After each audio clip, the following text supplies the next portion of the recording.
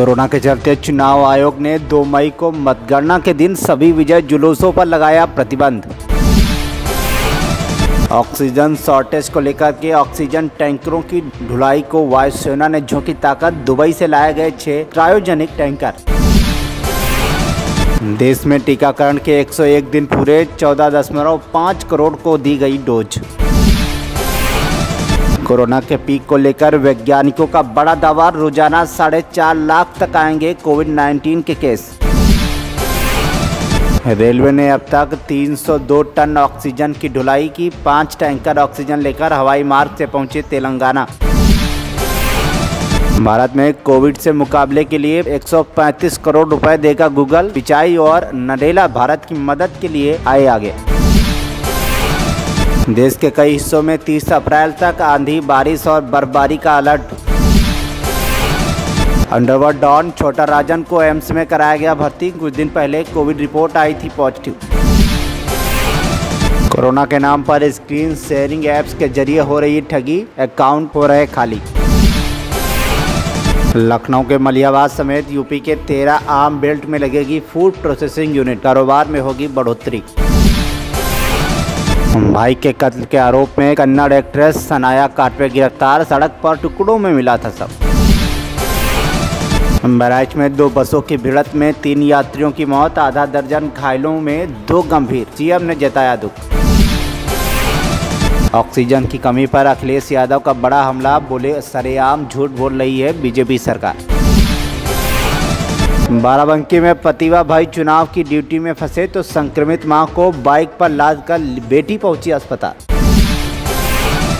लखनऊ में कोविड रोगियों से अधिक मूल्य वसूलने पर न्यू सहारा हॉस्पिटल हुआ सील। यूपी पंचायत चुनाव में विदाई से पूर्व नई नवेली दुल्हन ने किया मतदान तो किसी ने अंतिम संस्कार के बाद डाला वोट। मिर्जापुर और राजमगढ़ को भी मिला प्राणवायु बोकारो से 15,000 लीटर एमएलओ लेकर वाराणसी पहुँची ट्रेन। गोरखपुर में न डॉक्टर मिला न ऑक्सीजन। सड़क पर घुट घुट कर तोड़ दिया दम।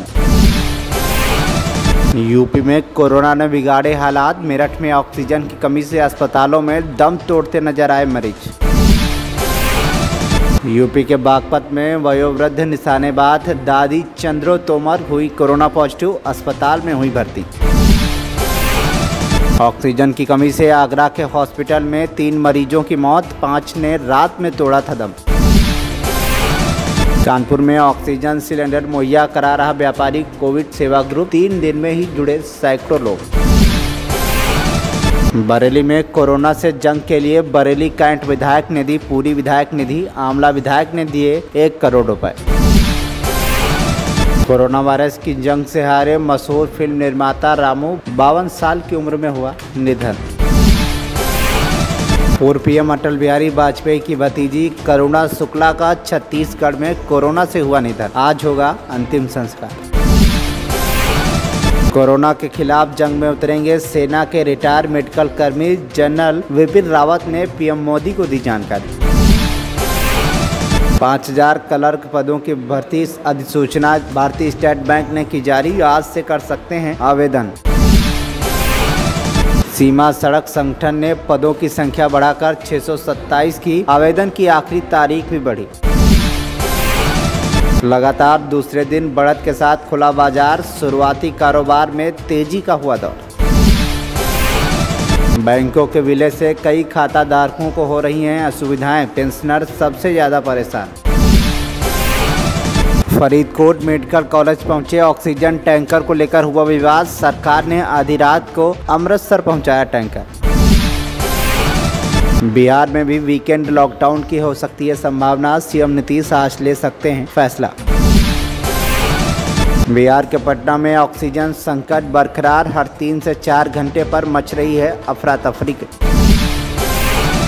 बिहार के मुजफ्फरपुर में कोरोना से 10 और लोगों की हुई मौत 535 नए संक्रमित मरीज़ मिले। मुजफ्फरपुर समेत आठ स्टेशनों पर पचास रुपये में मिलेगा प्लेटफॉर्म टिकट। बिहार के पूर्णिया में ग्रामीणों द्वारा सड़कों पर सुखाया जा रहा है मक्का। दुर्घटना की बनी रहती है आशंका। बिहार के दरभंगा में तीन दिन के लॉकडाउन के बाद बाजारों में उमरी भीड़। शारीरिक दूरी नियमों का नहीं हो रहा पालन। बिहार के गोपालगंज सदर अस्पताल में एक एक कर थम गई 11 मरीजों की साँसें।